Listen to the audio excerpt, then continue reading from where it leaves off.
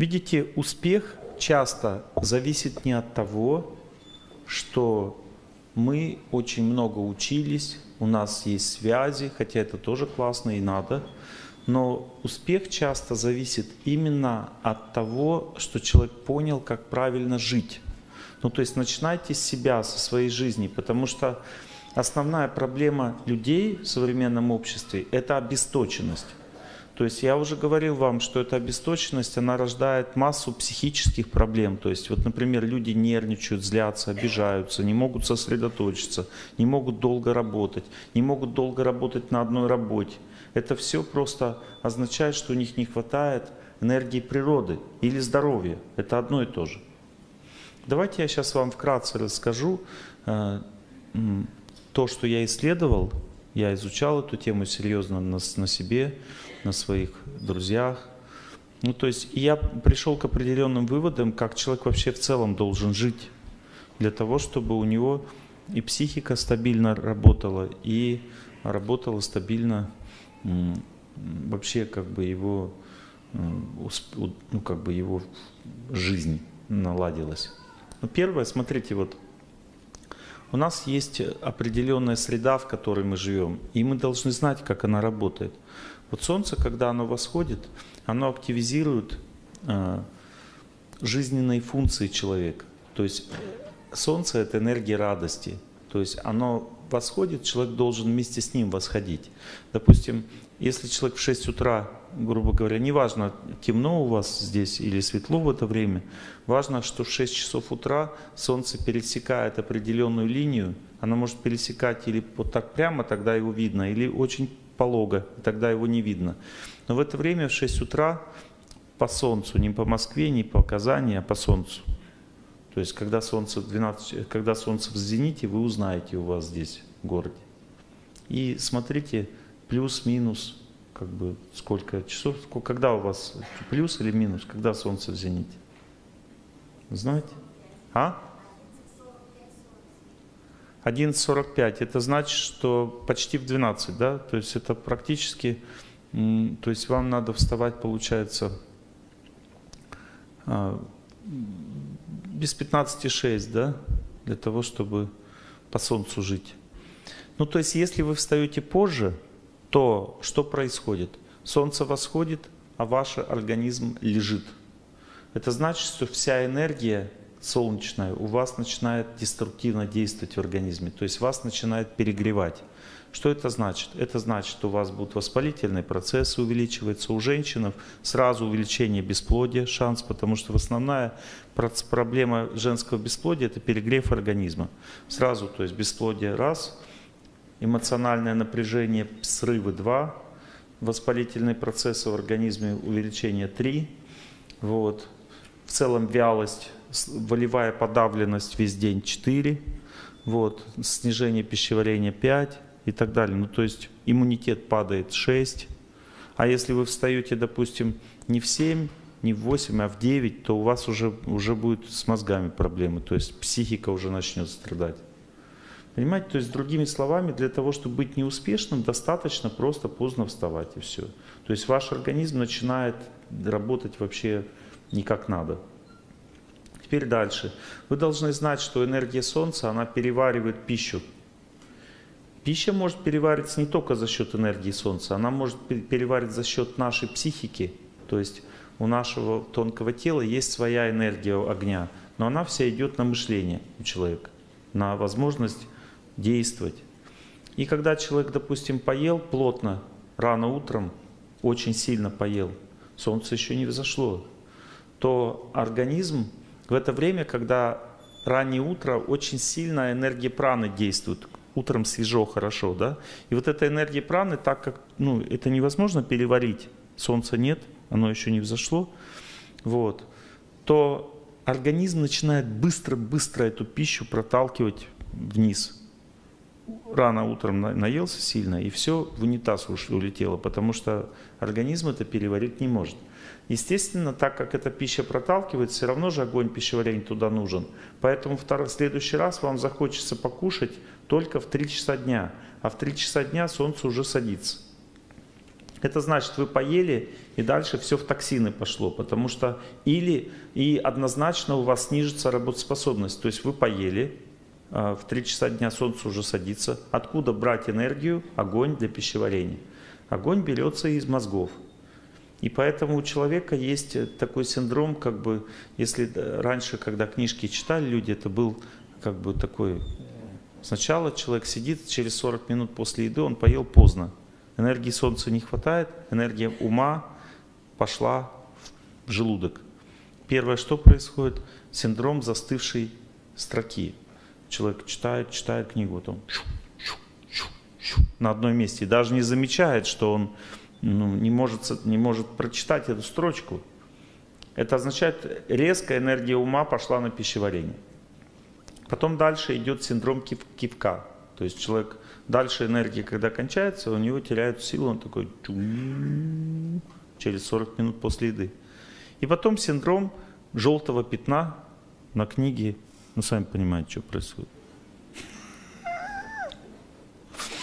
Вот. Но если вы листаете книгу видели там внизу желтое пятно, значит человек пожрал поздно. Можете сказать ему, и он ничего себе. Ну, как Шерлок Холмс.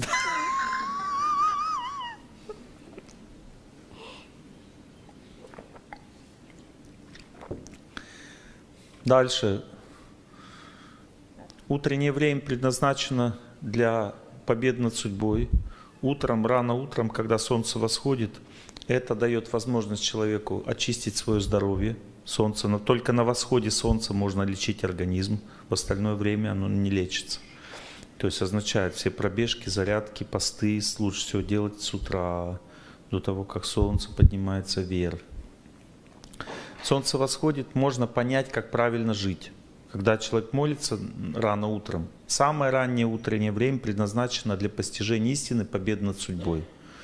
Потом дальше следующее время идет уже для того, чтобы улучшить свое здоровье. Дальше потом время для того, чтобы разобраться вообще со своей жизнью. То есть где-то может быть с 10 до 12 это время, когда ты хорошо соображаешь, как тебе улучшить свою деятельность, как тебе там с близкими пообщаться. Это время для постижения истины, для понимания. Ну, вы понимаете, вы скажете, я, Олег Геннадьевич, с 7 утра уже работаю. Хорошо, но время работы вы можете параллельно подумать, как вам жить. в это время, и у вас получится. Вот. Утром завтракайте очень легкой пищей. Ну, то есть утренняя пища какая? Это орехи, это фрукты, это сухофрукты, это э, все молочное, сметана, там сыр и так далее. Э, гречка, там э, пшено, вот эти вот, это все не зерновая пища. Зерно – это пища, которая созревает на солнце. То есть золотые колосья хлеба в песне поются, до краев им полны солнцем. Про солнце песни. Зерно созревает на солнце, бобы созревают на солнце, на очень высоком. Это значит, что эту пищу, все зерновое, надо есть в обед. Ни вечером, ни утром зерно не надо кушать много, потому что это не будет перевариваться. Понятно? Овощи созревают под светом луны. Поэтому овощи надо кушать в обед и вечером, потому что они перевариваются в это время. Вот. Фрукты на восходящем солнце созревают, поэтому можно с утра фрукты есть. Орехи э, тоже с утра можно есть, и вечером орехи можно есть. Значит, дневной пища самая обильная, то есть все самое тяжелое можно съесть в обед, вечером лучше всего есть овощи, тушеные овощи, не слишком много соли и специй. Понимаете, когда говорят, что соль вредна, это имеется в виду только утреннее время и вечернее. В обед соль не видна, не вредна. Она вредна только вечером. Понимаете? А утром вообще пища должна сладкий вкус иметь. Утром надо сладкое есть, потому что сладкий вкус связан с оптимизмом, с солнечной энергией. Вот. А в обед все шесть вкусов, а вечером пресный вкус, то есть ну, пища должна быть спокойной, то есть не надо, а, она не должна разжигать какие-то вкусы, всегда означает настроение разное. Когда человек питается правильно, ему легко становится жить. Утреннее время предназначено для победы над судьбой, дневное для работы, а вечернее для семьи. Когда луна, луна начинает, сила Луны увеличиваться, а сила Луны увеличивается в 6 часов вечера, то в это время энергия любви увеличивается в жизни человека. Потому что Луна — это не просто спутник Земли. Она несет в себе энергию любви и отдыха. Ну, то есть а, под светом, то есть поэтому человек должен рано ложиться спать. Нужно э, ложиться часов в 10 и вставать не позже 6, потому что в, это время эффективность сна возрастает несколько раз. Если человек поздно ложится спать, то он не высыпается, потому что ему луны не хватает. То есть ему надо спать, если поздно ложиться, значит ему после 6 надо спать дальше, а этот сон деструктивный, то есть он не восстанавливает человека, а просто изматывает. Вы заметили, что когда спишь утром, то тяжело это спать, тяжело. Это изматывающий сон, как потому что солнце восходит, оно заставляет человека вставать. Но все равно, тем не менее, если поздно легли, надо 7 часов все равно поспать, потому что когда человек уменьшает сон, он сокращает продолжительность своей жизни. Ну, то есть отдых все равно нужен. Понимаете, и когда человек спит, нужно обязательно отрегулировать форточку. Если не поступает воздух во время сна, то также это разрушает здоровье. Ну, то есть, может быть, кому-то надо меньше, чтобы чтоб э, не так дуло сильно. Но все равно какая-то щелка должна быть. Может быть, в соседней комнате, чтобы воздух заходил к вам оттуда. Но если воздуха нет, вы запираете все, и воздух не поступает, то вы таким образом разрушаете свое здоровье. Зачатие детей должно происходить ночью, потому что это самое здоровое. То есть, ну, как бы, когда днем начинаются дети, то дети рождаются болезненными, вечером психически больными, утром чувствительными, а, а ночью здоровыми. Под светом луны надо зачинать детей. И если вы хотите добрых отношений с близкими, то надо всегда их строить вечером, потому что вечернее время предназначено для отношений с родственниками. Я вам вкратце рассказал, что такое режим дня. Если человек имеет это знание, эффективность его жизни возрастает несколько раз. Если же он не имеет это знание, давайте разберем последствия. Если человек ложится поздно спать, постепенно он напряжает, напрягается. Это как психическое, так физическое напряжение, так и умственное. Эти три типа напряжения, физическое напряжение приводит к болезням, психическое напряжение приводит к пьянству, а умственное напряжение приводит к курению. Ну, то есть человек поздно ложится спать, уже вот две вредные привычки уже за ним побежали. Теперь человек поздно встает, волевая функция сразу до свидания, то есть сила воли до свидания, здоровье до свидания. Вот. И удача, естественно, тоже до свидания, потому что человек становится никакой. То есть он, то есть он никакой, если он поздно встает. Поэтому вот, пожалуйста, успех. То есть хотите жить хорошо, живите в ногу со временем, понимаете? В ногу с временем надо шагать. Не спешить, не отставать, в ногу с временем шагать. Это успешная жизнь. Следующее вы должны знать, что время, что такое время? Время это сила, которая нас испытывает в этом мире. Это не просто то, что на часах идет. Это сила, которая нас испытывает. Время в психическом теле, оно с каждым годом увеличивает количество испытаний, а в физическом теле оно увеличивает количество трудностей. То есть это называется процесс старения. И вы должны знать, что как в психическом, так и в физическом теле есть два способа влияния времени. Один способ называется циклическое время, а другой стабильное.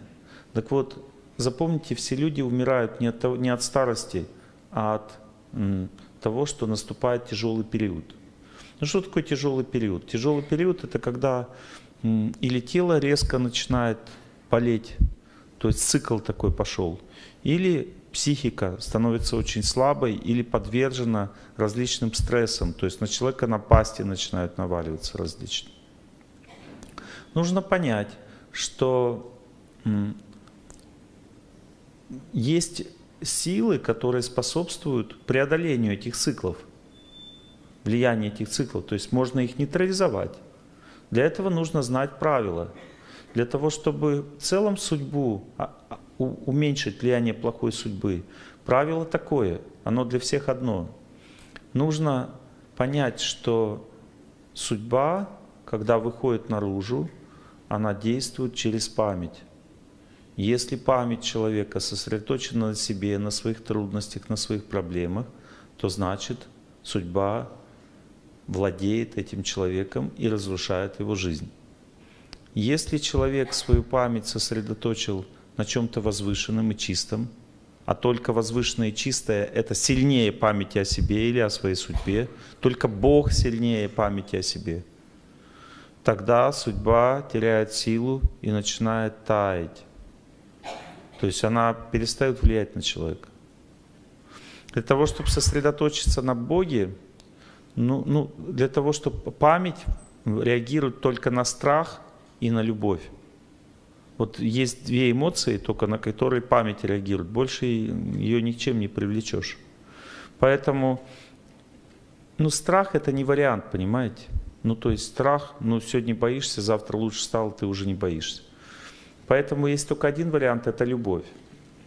Поэтому если вы видите, что кто-то молится, какой-то человек молится, очень сильно с любовью, думая о Боге, ну как бы это чувствуется по песнопениям, по молитве, то можно настроиться и повторять молитву вместе с ним.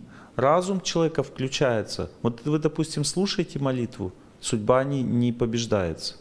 Хоть вы и помните о нем. Почему? Потому что судьбу побеждает разум. А если вы повторяете вместе с ним молитву, тогда начинается действие, влияние на вашу судьбу. Когда вы просто слушаете молитву, то у вас меняется настроение. Настроение находится, это поверхностная функция ума, это не глубокая.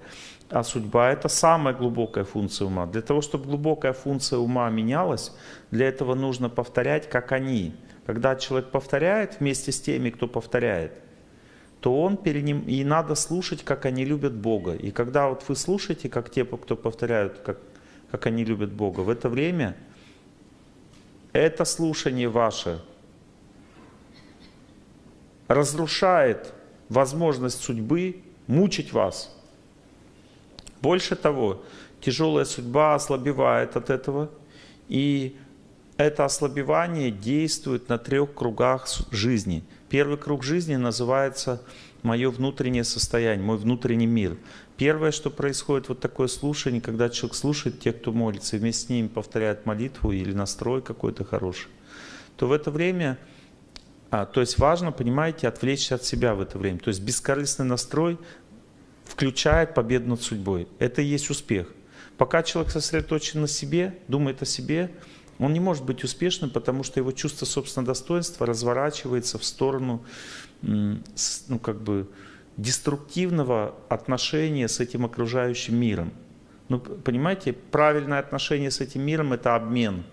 Я, допустим, вам улыбаюсь, вы мне улыбаетесь, я наполняюсь. Если я от вас что-то хочу, вы напрягаетесь, и ни вы не наполняетесь, ни я. Страх, беспокойство, суета. Все это человек отгораживает от этого мира, и он не может наполняться. А если он не может наполняться, значит он не может и побеждать. Главная проблема жизни в современном обществе – это обесточенность. Люди страдают от того, что у них не хватает сил. Поэтому нужно учиться этому знанию. То есть, смотрите, всегда человек, если он ничего с собой не делает, он нацеливается на страх, суету и беспокойство. Это значит, что он нацеливается на самоуничтожение. Для того, чтобы побеждать судьбу, нужно нацелиться на служение. Что такое служение? Это вера, уважение, радость. Понимаете, у человека есть два способа действовать в этом мире. Один способ, он является замкнутой системой или гаснущей лампочкой – а второй способ, он замыкается в сеть. Как замкнуться в сеть? Он слушает тех, кто молится, и отдает не себя, а это, что он услышал, другим.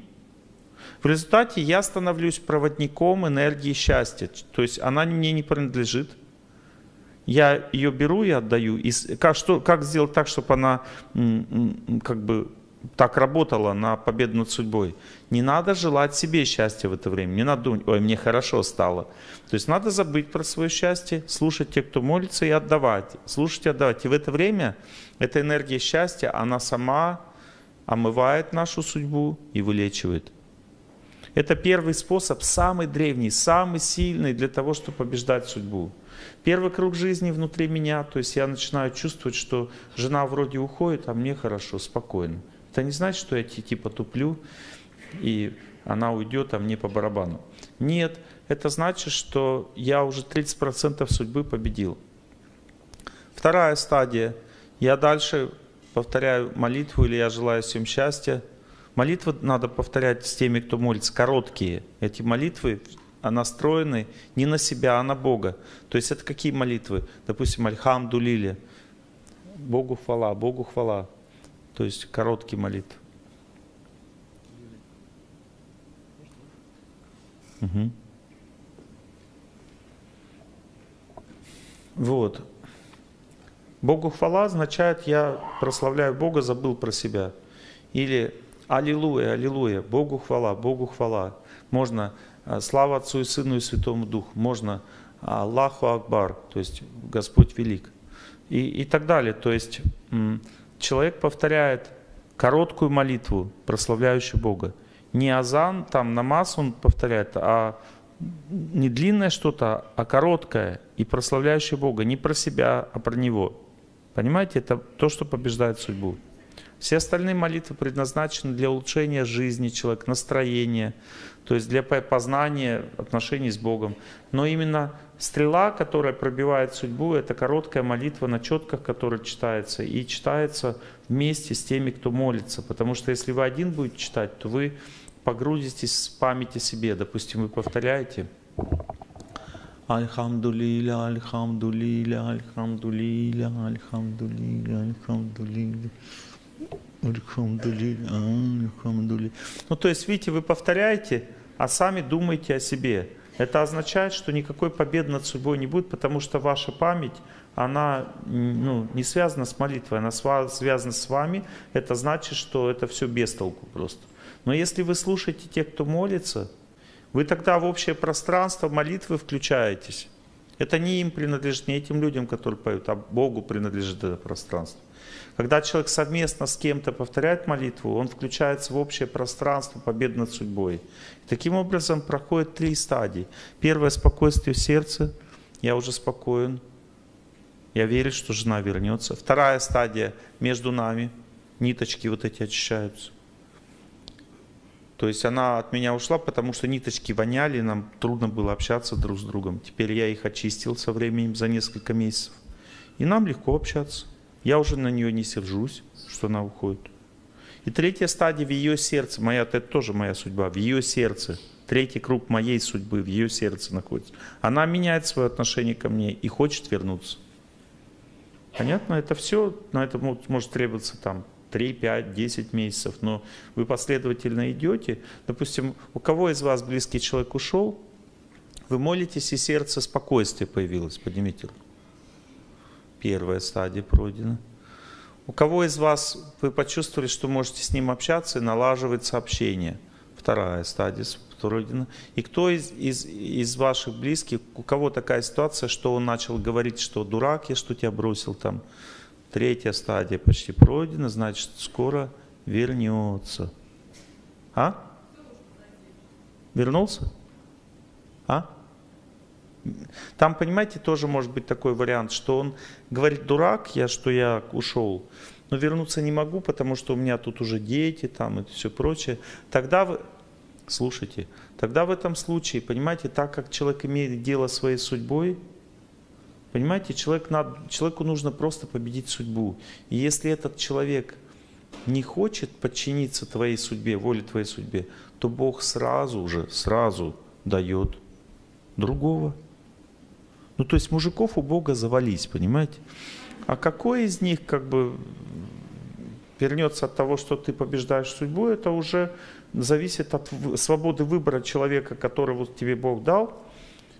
И если он как бы не хочет подчиниться воле Бога, тогда Бог дает еще лучше кого-то другого. Поэтому есть только один путь, понимаете, э, для человека, вот, допустим, семья разрушена, путь в пустыню нет. Типа, да, я тебе себе другого найду. Путь только один, возвращать все назад. И если человек не возвращается, а ты прошел свой путь, Бог дает другого. Но если ты сам ушел, тоже возвращайся, значит, назад. Если у него кто-то другой есть, раскаивайся, значит, в своем сердце, восстанавливай отношения с этим человеком. Придет время, ты получишь другого. Но если ты этого делать не хочешь ничего, тогда получишь не другого, а по башке. Потому что у Бога есть не только поощрение, но также и наказание. А как это действует, узнаешь Допустим, когда мужчина уходит от женщины, обычно у Бога есть такой способ для мужчин наказывать. Бог ему дает очень любимую, очень красивую девушку. Вот он уходит от жены, сразу же получает очень любимую и очень красивую. Для чего? Все очень просто. Для того, чтобы он привязался к этой женщине, так сильно-сильно привязался. И чтобы она его бросила так же, как он бросил жену. О, да, вот так оно и происходит, мой хороший. Теперь женщина, когда ушла от мужчины, наказание прямо противоположное. Она лишается возможности близких и теплых отношений. Мужиков может быть много, но семьи нет. И она мучается, мучается, мучается. Пока она назад свои чувства не вернет, не раскается, она так и будет одна. Со мной вот что происходит. Ко мне мой старый друг не ходит, а ходит в праздной суете, непостоянные не те. Что это значит? Мужика свою бросила. Понимаете?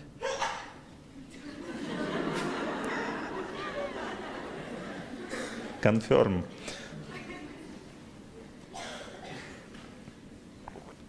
Есть знаки, это знаки, это другая тема, знаки судьбы. Всегда Господь все подтверждает через людей. Кто-то со стула упадет, когда важно что-то сказать. Кто-то чихнет. Тогда идет процесс общения, такой обмена.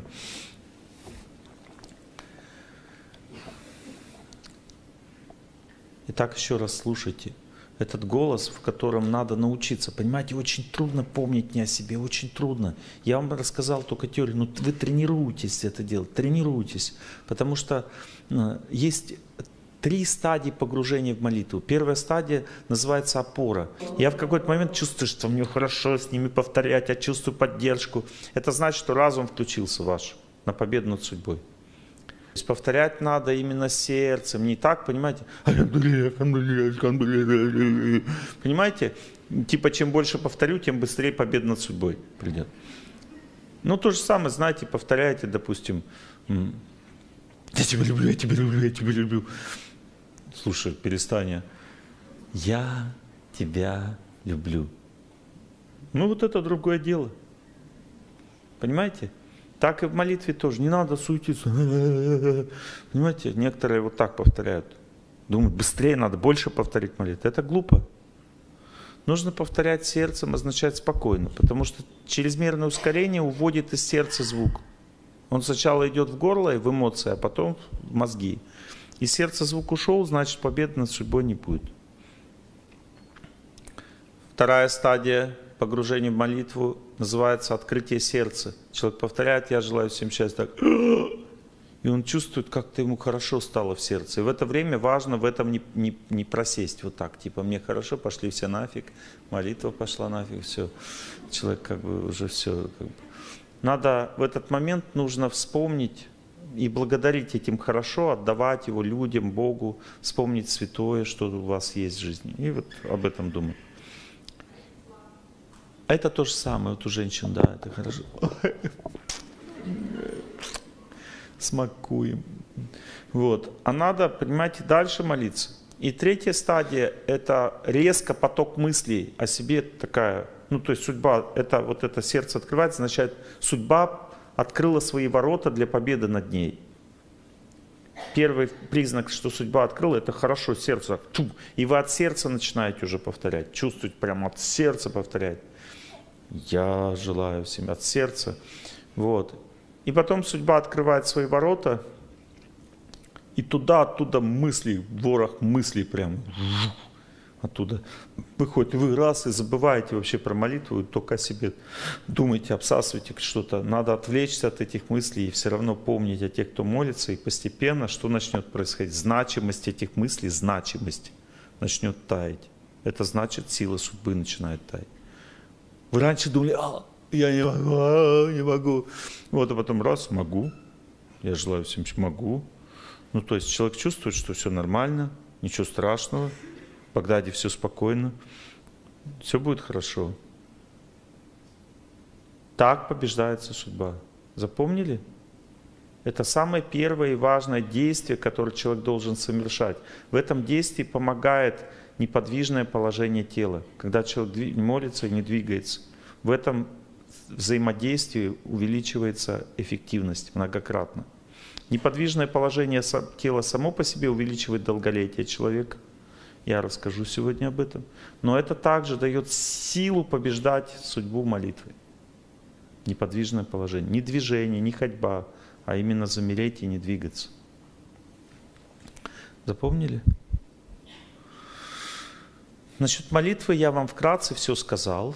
Вообще, если вы хотите как бы больше, то у нас есть клубы «Благость», и там в клубах «Благость» у нас есть тренинги. То есть я провожу молитвенные ретриты с клубами, то есть мы учимся молитве.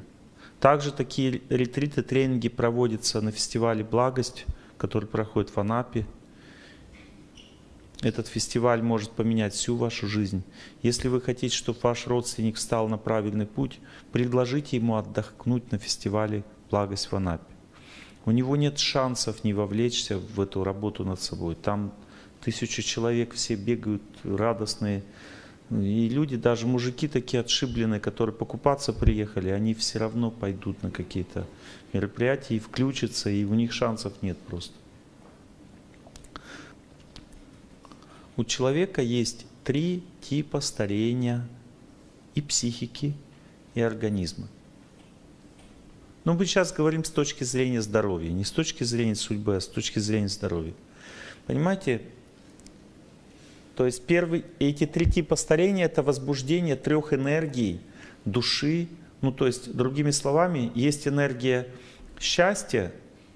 Если человек аскезу не совершает для своего счастья, то энергия счастья как бы застаивается в организме и превращается в лень. А эта лень превращается в лишний вес, токсины. Это первая стадия старения. Лишний вес и токсины. Вторая, э, токсины означают равно пишите равно вирусной инфекции. Ну, то есть, если вы болеете вирусными инфекциями или у вас лишний вес, значит, это первая стадия старения, какой бы возраст у вас не был, не имеет значения. Вторая стадия старения – это хронические инфекции и доброкачественные опухоли. Третья стадия старения – это злокачественные опухоли и тяжелые инфекции, такие как туберкулез, э, ВИЧ там, и так далее – Что делать, чтобы победить этот вид старения? Понимаете, все виды старения побеждаются с помощью того, что человек настраивает свое чувство собственного достоинства правильно на пожелание всем счастья, то есть он забывает про себя, выходит на свежий воздух, или, может быть, это делает дома, но потом выходит обязательно на свежий воздух.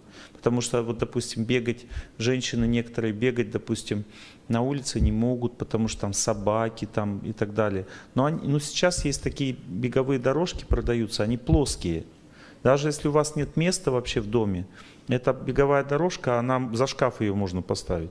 То есть вы можете ее положить в нужное время дома, побегать сколько вам надо, потом за шкаф ее поставить, потом выйти на балкон или на улицу и побыть там какое-то время для того, чтобы энергия природы вошла в вас. Понимаете?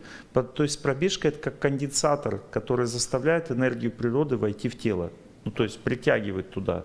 Это означает аскеза, направленная на здоровье. То есть, когда человек имеет лишний вес или токсины, то две аскезы побеждают это полностью но две вместе. Не, от, не одна, не каждая, а две вместе. Первая аскеза – это длительное, радостное, непрерывное движение. Вы скажете, я на работе много двигаюсь. Понимаете, непрерывное движение, радостное. Вы на работе не радуетесь, суетитесь. И непрерывное движение нужно, и длительное, и радостное. И вторая аскеза – это пост на воде. Тоже состояние радости и как бы самодостаточность. Две эти аскезы убирают лишний вес, токсины, и человек избавляется от этого вида старения. И также это касается и злокачественных опухолей, и доброкачественных опухолей. Вот эти две, два действия убирают старость из организма и эти виды заболеваний. Как это происходит? Я сегодня с утра в вашем парке, вас никого там не видел, пробежал 16 километров в радостном, спокойном состоянии. Теперь у меня к вам вопрос. А по мне заметно, что я уже больше 20 дней еду по разным городам, перелеты переношу, читаю лекции. Я чувствую уставшим, замученным. А? А что от меня идет? Здоровье, да? Спокойствие, сила. Так? Почему? Потому что я напитался вашей природой. Вашей казанской природой я написался. А вы не напитались своей природой. Это ваша проблема.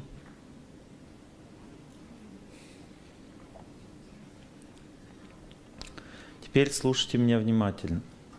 Когда человек радостью, спокойно начинает свое движение, не надо переусердствовать.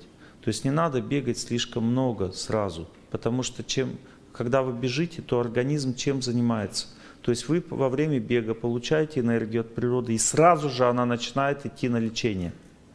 И понимаете, и это значит, что когда вы перестали бегать, то эта энергия – она немножко застаивается, поэтому у вас тело начинает ныть или болеть чуть-чуть. Это означает, что оно капризничает, говорит, дай еще энергию для лечения. А вы же уже не бежите, поэтому немножко тело будет ныть после пробежки. Некоторые думают, что это значит, что становится хуже, значит я болеть начинаю. Нет, это идет лечение. Даже если это суставы ноют или позвоночник там, или еще что-то. Понимаете, да? И знайте, что всегда человек должен начинать это движение очень аккуратно. Допустим, начинайте бегать 500 метров. Можно 500 метров бегать каждый день. Когда вы будете бегать 20 э, минут, то 20 минут пробежки дают человеку возможность всегда быть бодрым, иметь хорошую концентрацию внимания, хорошую память. То есть эти 21 минут пробежки идут на вашу работоспособность. Оно не, они не идут на здоровье. То есть, другими словами, если бегаете не больше 20 минут, здоровее от этого вы не будете. Вся эта энергия идет на работу, на вашу деятельность, на настроение, на все остальное. Понятно, да? Или ходьба в два раза больше. То есть 40 минут ходьбы на здоровье не идет. Идет просто на настроение, на, на бодрость и так далее. Теперь знаете, что у человека есть четыре психических цилиндра, связанных со здоровьем. Первый, самый наружный, они очищаются последовательно друг за другом.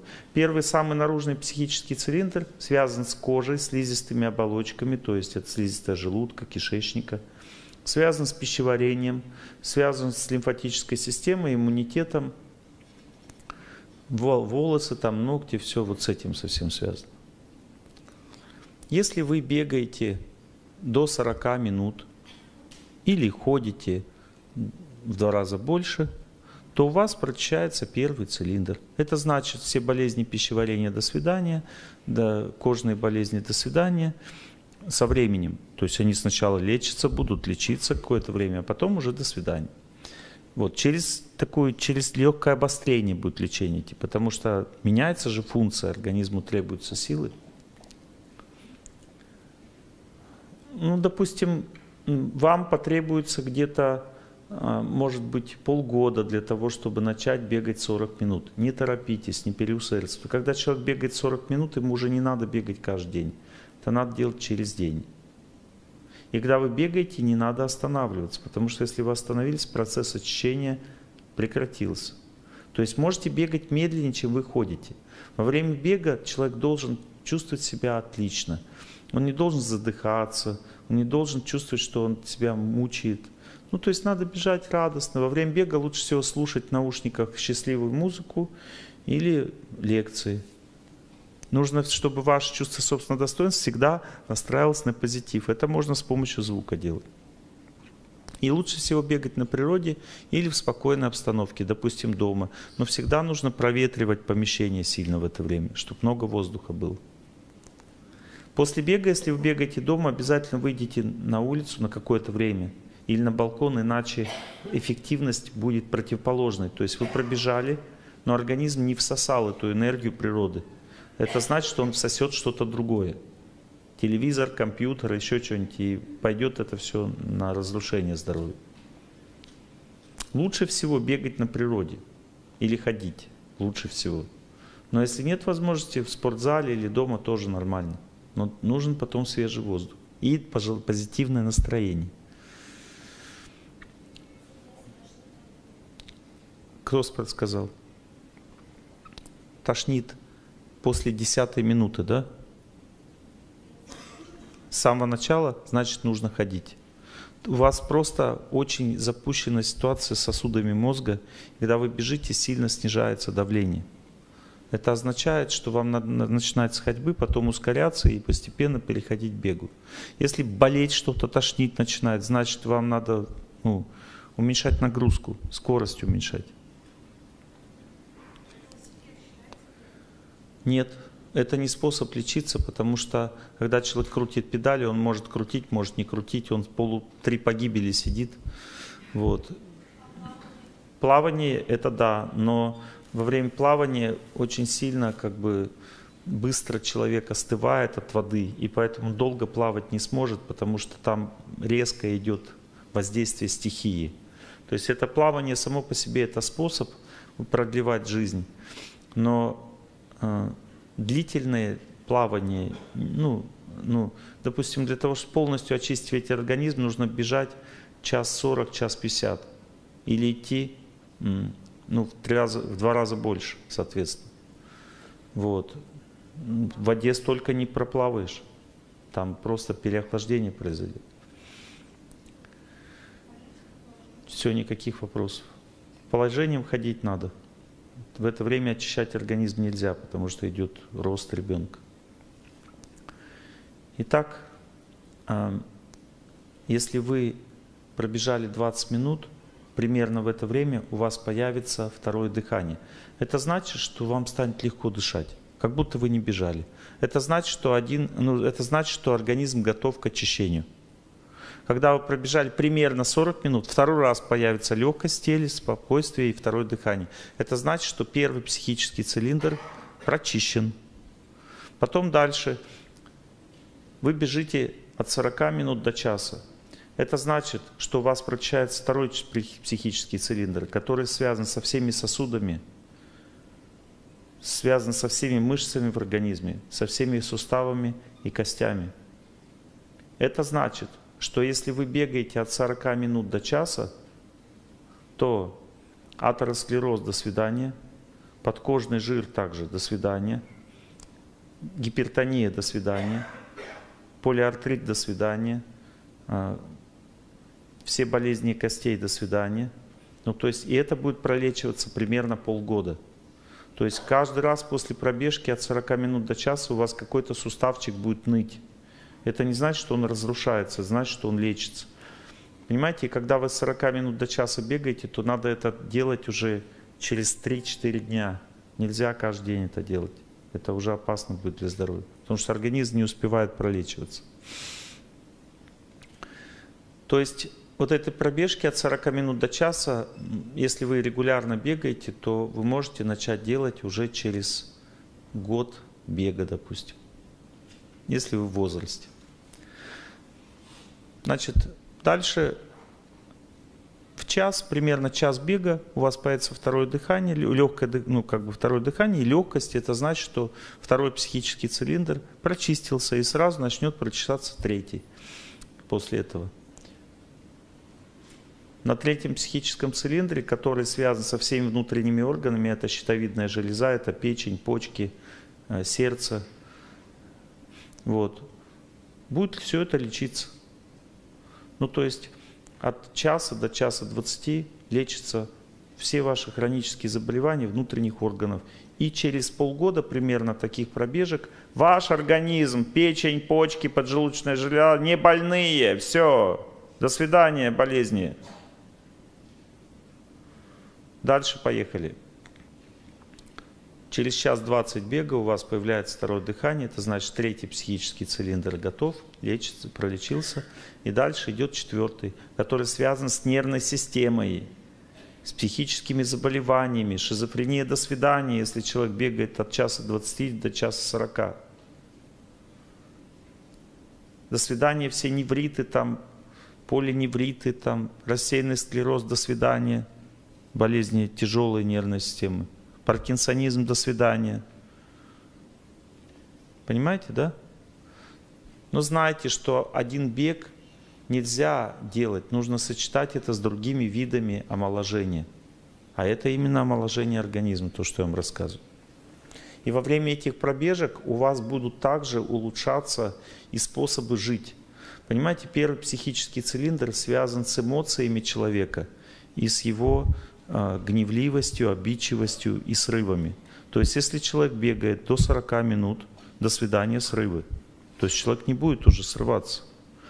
Дальше, от 40 минут до часа, когда человек бегает, то это связано с настроением человека. Настроения плохого не будет, депрессника уже не будет. Ну то есть от часа до часу 20, когда человек бегает, это связано уже, ну, как бы с глубокими психическими функциями. Человек не будет чувствовать психической усталости такой в жизни. А от часа 20 до часа 40, если человек бегает, то он неадекватность и психические срывы, вот эти глубокие такие погружения какие-то тяжелые психические, они полностью пройдут из организма. Все пролечится.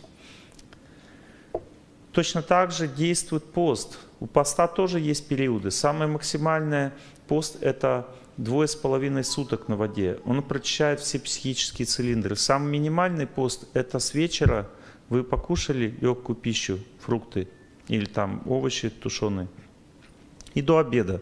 Это примерно 16 часов. Вот вы в обед кушаете нормально, как обычно.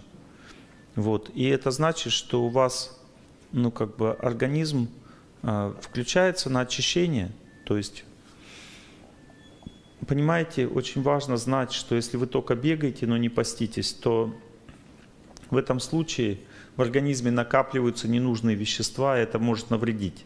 То есть, если вы бегать, надо обязательно поститься. Пост, пост э, до обеда можно хоть каждый день делать. Ну, то есть, как правильно поститься? То есть, первый вариант поста, я вам рассказываю варианты правильные для здоровья. Первый вариант поста с вечера до обеда.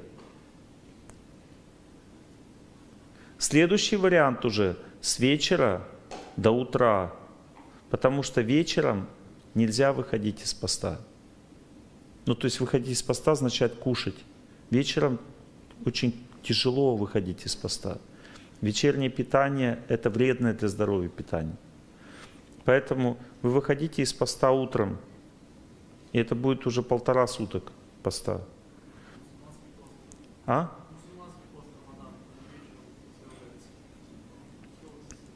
Если вы хотите знать мое мнение по этому поводу, то мое мнение такое.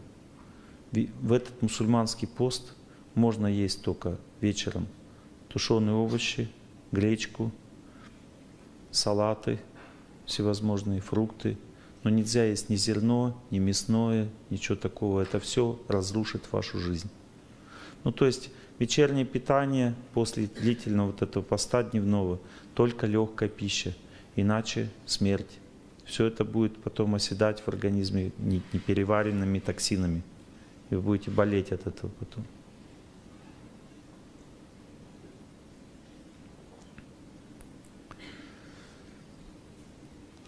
Значит, а, но поймите, что вот этот пост мусульманский предназначен не для очищения здоровья, а для духовной силы. Понимаете, есть разные посты. Вот, допустим, пост для духовной силы ну, подразумевает возможность питаться ночью. Но, понимаете, есть ночная пища. Это молоко, вот чистое молоко или сливки. И его можно есть, пить ночью, но ни с чем смешивать нельзя. Ночная пища – это любые овощи, которые растут над землей. Это все капусты, кабачки, тыква, патиссоны, тушеные. Можно ночью есть, они перевариваются. Орехи также являются ночной пищей. Но ни, ни зерно, ни мясо, там, ни фрукты ночной пищей не являются, они все разрушают здоровье. Вечером можно еще фрукты есть, но не ночью. Ночью они перевозбуждают, и вы спать не сможете.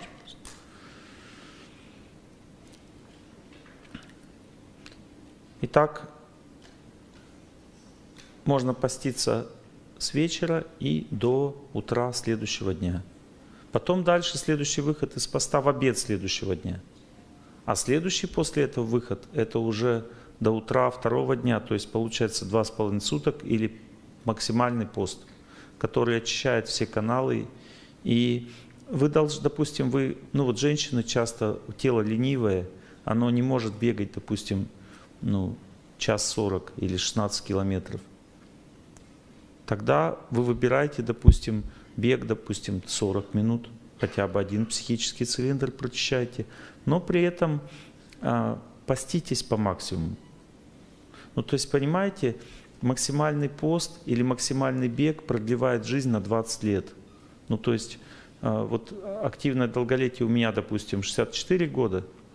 Когда я пробегаю 16 километров, оно увеличивается до 86 лет на 22 года. Я могу это видеть по своему организму. Я вижу, как у меня там препят, какие сложные периоды. Я все это вижу. Как у меня проходило очищение? Четыре года назад я начал бегать по 500 метров. Я не знал сначала, что это надо делать. Я йогой занимался всю жизнь и постился. Но потом я чувствую, что я задыхаюсь уже, как чуть-чуть нагрузка. Хотя я думаю, все вроде правильно живу. И я понял, что мне не хватает этого вида аскезы. Сначала начал бегать по 500 метров и бегал медленнее, чем я хожу. Постепенно я начал бегать все больше, больше, и через год я уже бегал где-то по ну, 7-8 километров. Через два с половиной года я бегал уже 16 километров. Но когда я начал бегать от 40 минут до часу, то у меня заболело правое колено, и только в этом промежутке бега я начал худеть. Ну, то есть от 40 минут до часа уже начинает жир плавиться. Вот. Ну, то есть я похудел на 7 килограмм и больше не худел вообще, перестал худеть, потому что лишнего веса уже нет, то есть нормально, значит, уже для организма. Вот. И у меня болело колено 5 месяцев после бега, ныло. И мои друзья говорили мне, что, наверное, скоро оно у тебя сотрется, так как пишут в интернет, что бегать нельзя, надо ходить с палками. Вот, я как бы не, обращал на это внимания. Через пять месяцев у меня прошло правое колено и забол... полностью прошло, понимаете? Ну, наверное, стерлось. Вот. И заболели оба тазобедренных сустава. Они проболели у меня где-то 3 или 4 месяца, потом заболел левое колено, потом оба голеностопа. Я уже перестал на это обращать внимание. Потом весь позвоночник проболел, потом мозги, потом проболели глаза, потом сердце. И все подряд проболело, короче. И сейчас я бегаю как конь. Мне 54 года. Ничего не болит вообще.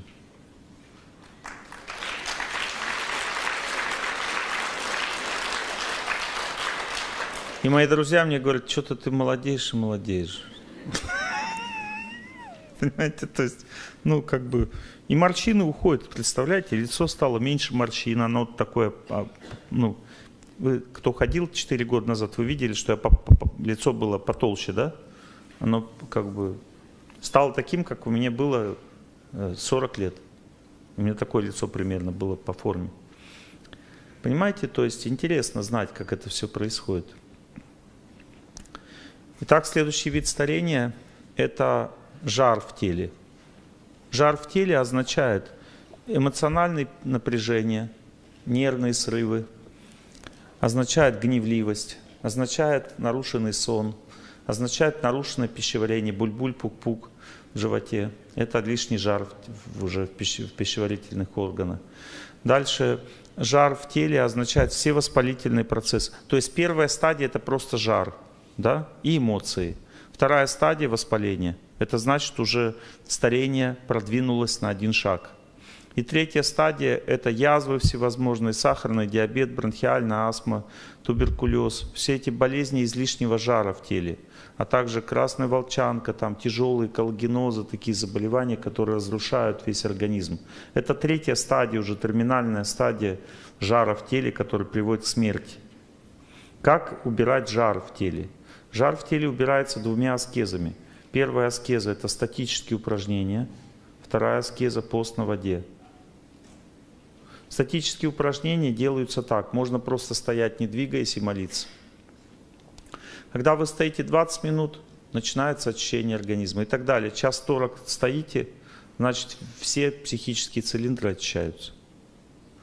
Если вы стоите часть 40, то хотя бы 40 минут бегайте, иначе, когда только статика в организме, статическое лечение, а нет динамического, то создается дисбаланс сильный в организме. Так же, как и есть только динамическое движение, а статического нет, тоже дисбаланс создается. Третий тип старения – это напряжение в организме напряжение, а также суета, нарушение внимания, концентрации внимания. Ну, то есть, когда человек чувствует, что он не может расслабиться, это приводит к курению также. Жар в теле, кстати, приводит к выпиванию. Жар в теле заставляет людей пить, а напряжение заставляет курить.